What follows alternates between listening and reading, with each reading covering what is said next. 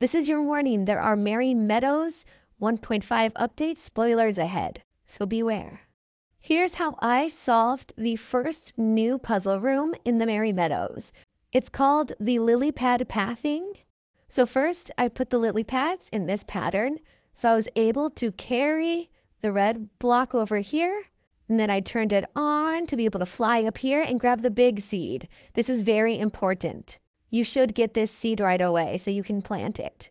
And then I started bringing the blocks over here so I could carry the red block over to get the chest. You can have a little bit of a gap between them I figured out. So maybe you can do this in a few less steps, but this is just the first way I did it.